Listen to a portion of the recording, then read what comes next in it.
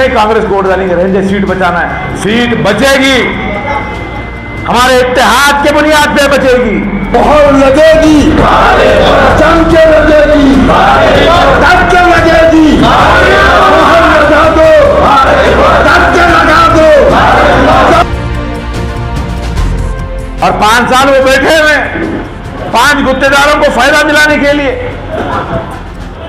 पाँच से छठा आदमी को उसका कोई फ़ायदा नहीं ले रहा। सत्रह कांग्रेस के एमएलए ऑपरेशन लोटस के नाम पर अपने आप को बेचकर भारतीय जनता पार्टी की हुकूमत यहाँ कर्नाटका में लाए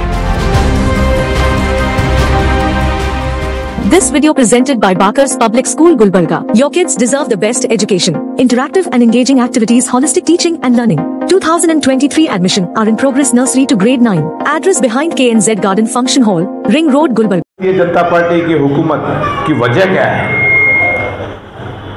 क्या आवाम ने उनको वोट दिया था? क्या उनकी हुकूमत थी? हुकूमत नहीं थी। सत्रह कांग्रेस के एमएलए जो सेक्युलरिज्म का नकाब पहन के आवाम के बीच में आए थे, कांग्रेस के पार्टी के सिंबल लेकर आवाम के बीच में आए थे, वो ऑपरेशन लोटस के नाम पर अपने आप को बेचकर भारतीय जनता पार्टी की हुकूमत यहाँ कर्नाटका में लाए सत्रह एमएलए कांग्रेस से रिजाइन करते हैं बीजेपी से कैंडिडेट बनते हैं और फिर से जीत के आते हैं। मैं इतना ही कहना चाहता हूँ कि इन गुलिस्ता साढ़े तीन साल में जो कर्नाटका के अंदर जो भाईचारगी मोहब्बत जो सेक्युलरिज्म हिंद गंगा जमनी तहजीब थी, यहाँ पर सर्व जनांगत शांति अतोटा है उसे कहते हैं कुएंपु हमारे बीच में। इतना फिरका परस्त माहौल कर्नाटका में कभी भी नहीं हुआ, कभी भी। हिजाब के नाम पर हमारी बहनों को कॉलेज जाने से रोका गया। हमारे इबादत घरों को अजान के नाम पर पाबंदी लगाई गई। हमारे बड़े बड़े आस्थानों पर, जहाँ गुलबर्गा में अलन शरीफ में, हज़रत लाल मशाक अंसारी अलैह की बारगाह में जो मामला हुआ आपके बीच में है, हमारी माओ और बहनों को इल्म है, एक लोगों को गिरफ़्तार किया गया दस हमारी माओ और बहनों को सलाखों के पीछे डाला गया जेल भेजा गया बेंगलुरु में डीजे हल्ली में हुआ मामला। साढ़े आठ सौ से जायद लोग। साढ़े आठ सौ। कितने एक नहीं, दो नहीं, तीन नहीं, साढ़े आठ सौ। इंजीनियर्स, डॉक्टर्स, उनको जेल भेजा गया। हमारे अलंग के मामला होने के बाद कई पंद्रह दिन में हुबली में एक मामला हुआ। यहाँ पे बहुत सारे सोशल एक्टिविस्ट हैं, हमारे कलेर साहब हैं, हमारे गौस बाबा जुनेदी साहब हैं। आप जाइए गुलबर्गा के सेंट्रल जेल को, आज भी 40 लोग हुबली के मामले में आज भी गुलबर्गा के जेल में मौजूद हैं। सेम केस डाला गया आलम में जो केस डाला गया सेम केस डाला गया। मैं इतना ही कहना चाहता हूँ कि आज हमारे ऊपर मुसलसिल फासिस्ट ताकतें हावी हो रही हैं। हमको कमज़ोर साबित करने की मुसलसिल कोशिश कर रहे हैं। हमारी तारीख जो है, हिंदुस्तान की, उस तारीख को दबाने की कोशिश कर रहे हैं। हज़रत टीपू सुल्तान रहमत के ताल्लुक से नेगेटिव कैंपेन हो रहा है। हमारे खाने पर हलाल कट जो है, नहीं बिकना चाहिए, झटका कट होना चाहिए। हलाल कट पे पाबंदी होनी चाहिए। ज़रूरी नहीं है इस तरह की बातचीत होना। जो शख्स हलाल खाना चाहता है, हलाल खाए, जो झटका खाना चाहता है, वो झटका खाए मगर साबित करने की कोशिश की जा रही है कि जो मुसलमान इस रियासत में रहता है, उसके तमाम जो ज़िंदगी गुजारने का जो तरीका है, उसकी जो सोच है, चाहे उसके इबादत घर हैं, यहाँ पर गुलबर्गा में सुपरमार्केट की एक मरकजी मस्जिद। वहाँ पर अलल ऐलान कर कर जबरगी से एक फासिस्ट स्वामी आके बोलता है कि हम लाउड स्पीकर निकालेंगे। लाउड स्पीकर निकालकर हनुमान चालीसा पढ़ाएँगे मैं आपसे पूछना चाहता हूँ, हमारी माँ और बहनों से पूछना चाहता हूँ अगर हिजाब पे बात होती है तो उसका जवाब देना चाहिए कि नहीं देना चाहिए? हमारे मस्जिदों तक कोई आके बोलेगा कि हम लाउड स्पीकर निकालेंगे, हनुमान चालीसा लगाएँगे। लगाने दो हनुमान चालीसा का हम एहतराम करते हैं। हमारे हिंदू भाई यहाँ पर बैठे हैं भक्ति से करें। हम अपनी इबादत हमारे मर्ज़ी से करते हैं, आप अपनी मर्ज़ी से करें। मगर मैं अगर बोलूँगा, तुम्हारी मस्जिद में, मंदिर में जाकर के नमाज़ पढ़ूँगा, आज़ाद दूँगा ज़रूरी नहीं है। अगर मैं ऐसा बोलता हूँ तो मेरे दिमाग में, मेरे दिल में फितना है। आप अगर ये बोलते हैं कि हम मस्जिद तक आकर करेंगे तो फितनेबाजी। तो आज हमारी माएँ और बहनें यहाँ पर, नौजवान, बुज़ुर्ग यहाँ पर, जिम्मेदार लोग यहाँ पर मौजूद हैं। मैं सिर्फ़ इतना ही कहना चाहता हूँ, इतना ही पूछना चाहता हूँ। सीट बचाई गई, कांग्रेस जीत गई मगर किसी मामले में असेंबली के अंदर एक लफ्ज एक लफ्ज अगर किसी ने बात की है, हमारे गुलबर्गा नॉर्थ के कांग्रेस के एमएलए ने बात की है तो आज शेख रोज़े के इस मुकद्दस ज़मीन पर मैं ऐलान करता हूँ कि मैं इलेक्शन से विड्रॉ होने के लिए तैयार हूँ। नहीं बात करें मोहतरमा, एक भी बार कोविड के अंदर पाँच हज़ार रोजगारों को जो है जो इफ्तार लेने जा रहे हैं, गिरफ्तारियाँ हो रही हैं। आपके भाई, आपका बेटा जो रोज सुबह उठ के बाहर जो है कारोबार करने जाता है। कितने यहाँ पर हमारी माएँ हैं, कितने हमारे नौजवान हैं जो जिनके घर में जो है गवर्नमेंट सर्वेंट है। है क्या गवर्नमेंट सर्वेंट कोई ऑफिसर है? रोज आपके शोहर, आपका बेटा, आपका भाई बाहर जाकर के काम करता है, आपको आके घर पालता है और आप घर संभालती हैं। पुलिस की जुल्म जाती गाड़ियाँ पकड़ना, फाइन डालना, हमारे छोटे मोटे ठेला बंडी वालों को जो है बेरोजगार करना दो दो महीने तक दर बदर भटकने लगाना, और जिसको आपने ताकत दिया है, वोट दिया है, जिसको जिताया है, वो खामोश बैठ रहे हैं। एक लफ्ज बात करने के लिए तैयार नहीं है।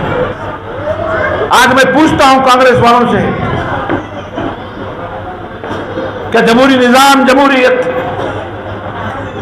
जमहूरी इकतदार असेंबली में जाना, इसकी ज़रूरत क्या है? अगर आप बात नहीं कर सकते, अगर आप गरीबों के लिए,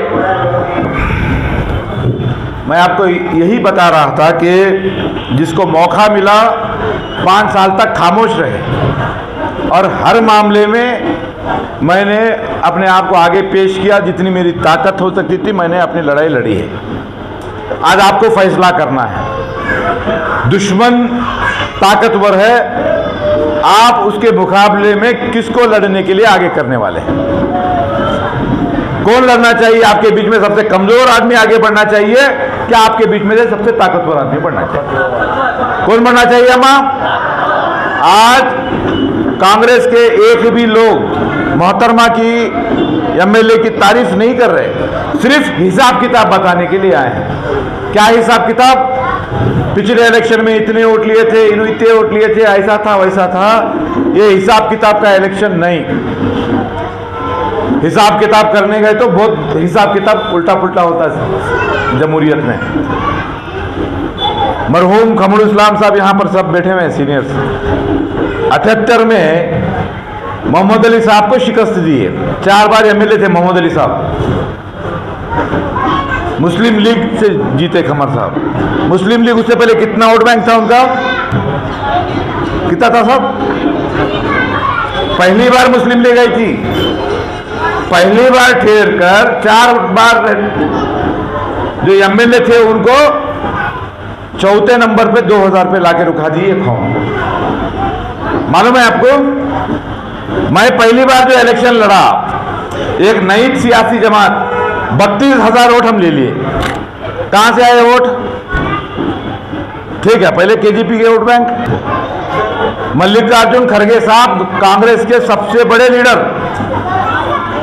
एमपी इलेक्शन में अस्सी हज़ार वोट से जीते। पिछले बार कितने वोट से हारे? एक लाख से जायद वोटों से शिकस्त होती है। और किसके सामने होती है? चिंचोली, जो हमारे बीदर पार्लियामेंट के कॉन्स्टिट्यूंसी में आता है, गुलबर्गा लोकसभा को भी नहीं आता। वहाँ पर एमएलए थे वो चिंचोली के, चार महीने पहले इस्तीफा देते हैं, आके यहाँ इलेक्शन करते हैं और दो लाख वोटों का फ़र्क आ जाता है। आता नहीं आया अब एमपी कौन है? हाँ?